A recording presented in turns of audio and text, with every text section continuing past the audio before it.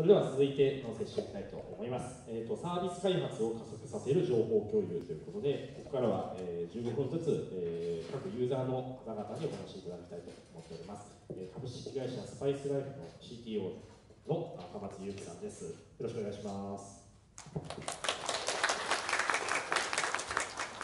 じゃあ、えー、今、サービス開発を加速させる情報共有というタイトルでお話しさせていただきます。イスライフ CTO およびスペアプロダクトマネージャーの赤松と申します。よろしくお願いします。えーと、まず弊社とエサの関係なんですけれども、えーと、一番最初のポストのクリエイティブアップを調べたところ、なんか2014年の9月ぐらいから使っているっぽくて、確かこの頃ベータとかですよね、の頃から、えーと、ずっと使い続けています。で、えー、とその前は聞いたチームを使っていて、ちょうどその時にあのドキュメントツール乗り換え用機運が高まっていて、ちょうどその餌のベータとあのタイミングがあったので、えー、とじゃあ餌にしようみたいな。なんか、なんかノリで餌にしようみたいな雰囲気で決まったんで、あんま覚えてないんですけど、えー、それからずっと使っています。で、当時、えーと、聞いたチームの頃から考えると、社員が今と全然意味が違くて、えーと、大体の社員が入社した時にもドキュメント共有サービスがあって、えーと、それがもう存在が当たり前の状況になっています。で弊社の、えー、と全体的なカテゴリー運用なんですけども、えー、とうち複数事業がありまして、まあ、事業ごとのカテゴリーとあとは、えー、と事業を横断する部署例えば開発部とかマーケティング部とかですねというカテゴリーが存在しています。でこれは新規事業ができたり組織体制変更で新規カテゴリーが増えたりしているんですけれども基本的になんか気づくと増えてるんでこの辺の管理に関しては割と公認しています。あの先生例えば開発部の中を勝手に整理したりとかですね最初に目に入ってくるリードミーを勝手に整理てこの辺に関してはなんかあまり秩序がないっていう状態です。で今回お話しするのは、えーと、ステアーズ、えー、弊社サービスステアーズにおける餌ということで、えーと、サービス開発における餌の活用事例の話をさせていただきます。で、えーと、ちょっと上の方にちっちゃい見えないと思うんですけどステアーズっていうカテゴリーがあって、まあ、その中でのお話になります。で、えーと、ステアーズについてちょっと軽く紹介させていただきますと,、えーと、誰でも簡単に作って売れるオリジナル T シャツ販売のステアーズということでオンライン上で T シャツのデザインをして販売できるっていうサービスになっています。で、えーと、今回あのみんなが着ている T シャツなんあのスピーカーがスピーカーさんが着ている T シャツなんですけども、えー、とステアーズの方であの赤塚さんの方に販売していただいている T シャツであのどなたでも買うことができるのでぜひよかったらお買い求めください。なんと今日はこの T シャツをはいいくつかプレゼントとしてあるんで。みんなこういう時の拍手ですよ。ねそんなに多くないんですけど、はい、後でじゃんけん大会しましょう、はい。で、えーと、ステアーズのチーム構成なんですけれども、プロダクトマネージャー兼アプリケーションエンジニア、これ私ですね、と、あともう一人エンジニアがイエンジニア兼アプリケーションエンジニアと、あとフルリモートで、あの関東では関西在住の方なんですけど、デザイナーの3人チームで、えーと、結構小さいチームとなっています。人数的には S さんと同じで、えーと、なんで、あのその辺あのカテゴリーの話とか、餌の活用の話とかも大体それぐらいの規模感を前提とした話になっています。で関係者としてはあの生産管理とかカスタマーサポートとか、まあ、あとは社長とか、まあ、いるにはいるんですけどもコアにあの開発として動いているのはこの3人という感じですでサービス開発を加速させる情報共有というタイトルなんですけれども、えっと、加速って何やみたいなところで、えっと、加速ってちょっとあの強い言葉だなと思うんですけれどもなんかもうちょっとふわっとなんかこうなんかいい感じに開発を回すなんかイメージ的にはなんかスムーズとか滑らかとかそんなイメージですね。で、えっと、なんかこのいい感じっていうこのふわっと声がなんかあの僕としてはなんかもういい感じでなんかもうよくわかんないんですけど なんかその開発をこういい感じに回すっていうのを大切にしていきたくて情報共有することで開発を滑らかにしていくっていうそんな話を今日はしたいと思います。でえーとまあ、いろいろと共有するものってあると思うんですけれども、まあ、今回開発チーム主体の話になるので、まあ、分かりやすいところで言うと作るものを共有するまあ、例えばどんなものを何のために作るのかどんな画面にするのか、まあ、そこにはどんなビジネスルールがあるのかとか、まあ、他にもいろいろあると思うんですけども、えっと、何かを実装していく過程で作るために必要な情報なら、えっと、何でも共有していくこんな感じです。で例えば、えーと、ちょっと文字ちっちゃいと思うんですけどもステアーズにはあの販売者さんごとにショップページみたいなのがありまして売っている T シャツを一覧できるページがあるんですけれども当時はそれをプロフィールページと呼んでいてそれの概要を、えーと書いたりとかまあ、あと何のために作るのかとか。でこれちょっと下の方にあの本当はもっといろいろあるんですけれども例えばワイヤーが書いてあったりとかあとは作る前にこんなイメージの機能を作りたいよねっていうあの他のサービスのキャプチャーを貼ったりしてイメージをあの共有していたりとかしていますあとはもうちょっとあの踏み込んだ話ですと、えっと、エンジニア同士の仕様の共有としてこんな感じのドキュメントを作っていたりして、えっと、このあの UA メールかけるのがすごい便利で、あ、本当になんか入ってよかったなっていう機能なので、みんなもぜひ使ってみるといいかなと思います。で、あの、こういうのはなんか、偽善共有っていうよりは開発しながら、あの、話したりフィードバックとかいろいろ入れてくるんですけども、あのフルリクあのこんな編集を修正を入れますっていうあの機能があるんですけども、それに対してコードレビューしてください、コードを見てくださいっていうお願いをもう一人エンジニアにします。で、その時にこのドキュメントセットになっていると、あのいろいろと話がスムーズでコードレビューがの負担が下がるっていう感じですね。あとは、えっと、デザイナー側のフルリモートっていうところもあって、えっと、ホワイトボードで簡単にラフスケッチを書くっていうのがちょっと難しいんですね。なので、えっと、画面のワイヤーを、えっと、餌の方に書いてもらって、で、えっと、技術的にこういうことは可能ですかとか、あとは、えっと、なんかあの、こういう実装は、えっと、できますかみたいな相談を同時にしてしてもらって、エンジニアはそれに対してちょっと難しいんで、別のあの代替案を相談させてくださいとか、そういうあの話をしたりしています。で、えーと、情報を育てるっていうところなんですけども、弊社はリアルタイムなコミュニケーションはあのチャットを対応しています。えっと、理由はあのフルリモートの人がいるっていうのと、あと活動時間が合わないっていうのがいろいろあったりとか、あとオフィスにいないとかそういう事情でチャットを対応しています。なので、餌にこんな感じのものを作るよっていうのをざっと書いて共有して、チャットで話し合うっていうことをよくしています。で、えっと、場合によってはちょっと難しい話であれば、口頭で直接話したりとか、えっと、リモートだった場合は Google ハンガードビデオチャットですね、で話したりしています。で、そこでお互いにフィードバックがあれば、餌を再度更新していく。で逆に先にチャットでいろいろ議論してから煮詰めたものを餌にするっていうこともあって最近は割とこの字が多いですね色型っているチャットを使っているんですけどこんな機能を作りたいねみたいな話をぼやっとしてそこでああだこうだ言ってじゃあこんなのどう？みたいなところを餌に求めていくでそれは1回で終わりじゃなくてちょっとなんかいろいろと話し合いながらフィードバックを餌に、えっと、入れていくっていう感じですねなので情報と同時に作るものの仕様をなんか育てていくっていうイメージです。で、えっとまあ、SS のコンセプトとして Share Develop Archive ってあると思うんですけども、ここではシェアと Develop ですね。とりあえずあのこんな感じの仕様みたいなのをシェアしておいて、そこから develop していく。で、アーカイブの話はちょっとこの後また別途話すんですけれども、えっと、そんな感じで情報を育てています。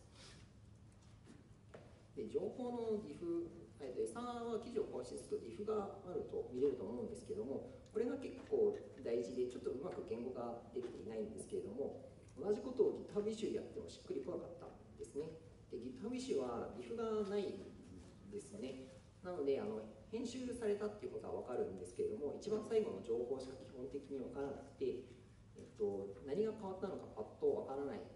で、DIF があることで、その情報がどう育っていったのか分かる。例えば、まあ、新しい要件が追加されているとか、ある。あのやりたいことが徐々に整理されていってあこの機能はいらないんだなこの機能は大事なんだなっていうのがなんとなくこう分かってくる。でそのなんとなく分かってくるっていうのがこうお互いにスムーズに開発していくっていうのが結構重要になってきます。あとは、えっと、関係者同士の距離みたいなのがあってで距離っていうのはなんかいろいろあると思うんですけども分かりやすいのは物理的な距離ですよね。何度かフルリモートの話をしていますけど隣の席にいる人とフルリモートの人の話だとえっと、同じことを共有するにしても詳細なドキュメントフルリモートの人の方が詳細なドキュメントが必要だったりとかする傾向にあります。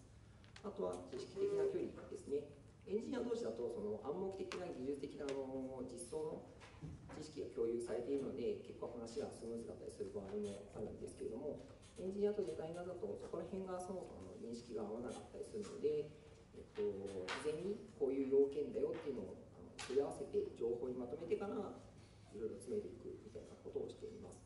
あとは時間的な距離ですね。情報を一度共有してから実装が終わるまでの時間とか、いろいろあるんですけど、もう話してその日に実装が終わるんであれば、えっと、ドキュメントを作るまでもなく、もうさっさと作ってもらって、それで終わりっていう方がいいと思うんですね。ただま1週間、2週間かる場合に、お互いに何でこうしたんだっけ、何をどうするんだっけっていうのが比較的忘れされられていくので、ドキュメントにまとめていくあとは実装以外でも、例えば弊社の T シャツを印刷するので、工場さんと提携とかいろいろあるんですけども、それになってくると、もう数ヶ月みたいなスパンになってきていて、何が何だか分からなくなるので、逐次デザイン情報をまとめていって共有していく、今の状況を分かるようにしていくというようなことをしています。で、どれにも言えるんですけれども、距離が長いほど詳細なドキュメントが必要になる傾向があって、これに関してはそのチームの働き方とかあの距離感って違うと思うので結構ケースバイケースでそこら辺は個々に見極めていく必要があるのかなと思っています。で今まで話してきたものなんですけども基本的には実装が済むと不要になるケースについて話してきましたなのであくまで実装をスムーズに行うために、えっと、情報を共有していこうというスタンスでの話です。でそういった情報は例えばワイヤーとか分かりやすいと思うんですけども実装が終わった後基本的には更新されないですね。でむしろあのサービスのその UI を変えた後にワイヤーを更新するって順序逆で普通やらないじゃないですか。あのそういうことです。でえっとちょっと一個失敗談まして使用カテゴリーの講座なんですけども、えっと、こういった中間成果物を使用カテゴリーっていうところに全部ぶち込んでいたんですね。だってあの作るものについて話してまとめているんでまあまあ仕様じゃないですか。で最初はそれで良かったんですけど仕様にどんどんいろんな情報が溜まってきた結果最近困り始めましてそういうワイヤーみたいなその場だけの情報と時々なんか参照する必要がある情報が一緒くたになっていて必要な情報がサクッと見つけられない。いう状況に陥ったりしていました。でどうしたかというと施策ごとにカテゴリーを分ける。例えばプロフィールページのカテゴリーを分けてプロフィールページに関することは全部そこにいるみたいなことをしていてこの辺はお子さんの長屋の発表資料を参考にしていて今日もこの後お話が聞けるのかなと思います。でちょっと細かい悩みはあるんですけども割とこれおおむね良くなった感じです。で今までは、えっと、ずっと中間性があってフローの話をしていたんですけどもストック記事っていうのが大事で、えっと、そういった中間成果物を別のカテゴリーに移した結果、使用にはその参照されやすい情報をまとめるようになっています。で中間成果物からこれはよく参照するので事前にあの分かるようなものはまとめることもあるし、まあ後から新規に作るっていうこともありますで、えっと、知りたいことがサクッと出てこないっていうのは基本的にやっぱいい感じじゃないんですねあの開発するにあたって必要な情報が出てこないっていうのは結構滑らかじゃないのでそういうのはなるべく解消したい。なのでそういうのを解消するために必要な情報をまとめるっていうところでその目安として例えば検索したらフローの記事だけヒットした。フローの記事っていうのは大体その場の情報当時のコンテキストで書かれている情報なので結構あの今とちょっとずれていたりするんで必要な情報だけを抜き取ってストック記事としてまとめるとかあとそもそもどこにも書かれてなかった場合は、えっと、改めて書き起こしたりとかします。で、まあ、細かい話を飛ばすと探してサクッと出てこなかったらストック記事としてちゃんと整理しましょうという感じですね。でさっきあの思いやりっていうワードがあったと思うんですけれどもなのでなんかこういう情報が必要だよねっていうそのある程度の想像予想とか踏まえて情報をまとめていけるといいのかなと思います。で例えばストック記事の例なんですけどもサービスコンセプトとかをまとめていて、まあ、僕の中にこんな感じのサービスだよねっていうのがあるんですけれどもやっぱそういうのってなかなか伝わらない部分っていうのがあるんですね。で、まあ、よく話すメンバー、まあ、3人ぐらいなんで結構頻繁にサービスについて話している場合は結構大丈夫だったりするんですけどもステークホルダー、まあ、例えば社長とかあの別の人とかに意外と伝わっていない伝わっていないというかそもそも話していないで伝わるわけがないんですけどもそういう距離の遠い人たちに向けてのドキュメントとして有用です。例えばこんな感じですね。プロダクトっていうカテゴリー。これもあのまでなんですけども、えっと、こんな感じであのこんなサービスだよっていうのとあと製品原則僕らが大切にしていることを書いたりして僕らはこういうことを大事にしてサービスやっていくんでっていうことを言ったりとかしています。あとはコード上で説明が難しい仕様とかですね。えっ、ー、と例えばちょっとした計算式とか、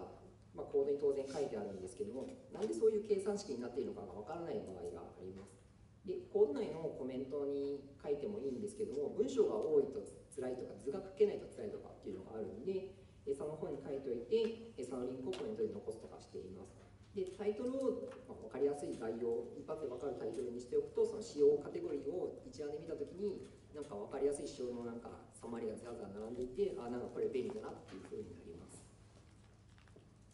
えっ、ー、とあえっと、ストックいい感じにその溜め込んでいくと、まあ、人が増えた時とかまとまった情報が提供しやすくなるようにここ見てねっていうのが理想かなと思っています。あとは人が増えた時とか関係なく人間物事を忘れていくのでそういった時のことを考えるとやっぱ後から調べやすい情報にまとめていくといいのかなと思います。で、えー、ストック記事が増えれば共通の認識も増えてお互いスムーズに話ができるようになるので、えーと、餌と一緒にチームも育つみたいなそんな感じです。ちょっとあと1ページ2ページぐらい。でまとめとしては、えー、いい感じに開発をするためにはそのチーム内での情報共有っていうのは欠かせないと考えています。なのでスムーズに開発が回るようにお互いに情報をどんどん共有していきましょう。でかつフローとストックを分けて整理することで後から参照しやすい使いやすいドキュメントになります。で、なので、えーと、餌を通してみんなが持っている暗黙知っていうのを形式知にして共有していくのが大事だと思います。で最後は、えーと、決まりなんですけども、えーと、弊社エンジニアリングマネージャーを大募集中で、えー、と Wantedly から募集できます。で、エンジニアとデザイナー、ちょっとページまだ作ってないんですけども、そちらも募集なので、あの興味ある方はぜひお声掛けください。以上です。ご清聴ありがとうございました。ありがとうございました。